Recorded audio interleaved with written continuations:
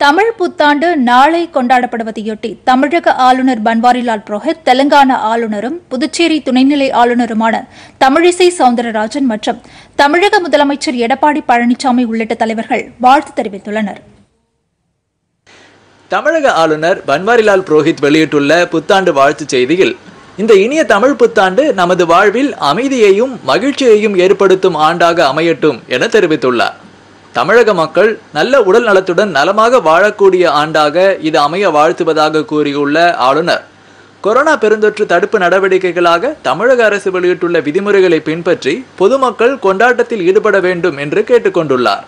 அனைவரது வாழ்விலும் மகிழ்ச்சியும் ஆரோக்கியமும் நிலைத்திருக்க எனது இனிய தமிழ் புத்தாண்டு வாழ்த்துக்கள் என தெலங்கானா ஆளுநரும் புதுச்சேரி துணைநிலை ஆளுநருமான தமிழிசை சவுந்தரராஜன் கூறியுள்ளார். அவர் விடுத்துள்ள வாழ்த்துச் செய்தியில் தமிழர்களுக்கு ஒளிமயமான வாழ்க்கையை இந்த புத்தாண்டு வழங்கட்டும் என்று தெரிவித்துள்ளார்.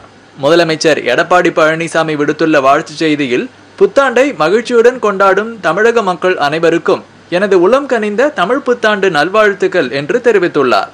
மேலும் தமிழ் பெருமக்கள் அனைவரும் நலமும் வளமும் பெற்று மகிழ்வுடன் வாழ வாழ்த்துவதாக அவர் கூறியுள்ளார். தமிழ்நாடு காங்கிரஸ் கமிட்டி தலைவர் கே எஸ் அழகிரி தமது புத்தாண்டு வாழ்த்துச் செய்தியில் தமிழர்கள் வாழ்வில் இருள் அகன்று ஒளி பிறக்க தமிழ் புத்தாண்டை சிரம் தாழ்த்தி வரவேற்போம் என தெரிவித்துள்ளார்.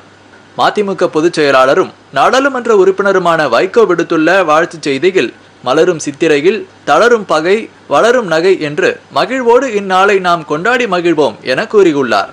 தமிழ் புத்தாண்டில் நாடும் நாட்டு மக்களும் நோயில்லா வாழ்வும் குறைவில்லா செல்வமும் பெற்று வாழ எனது மனம் நிறைந்த நல்வாழ்த்துகள் என தமிழ் மாநில காங்கிரஸ் கட்சி தலைவர் ஜி கே வாசன் வாழ்த்து தெரிவித்துள்ளார்.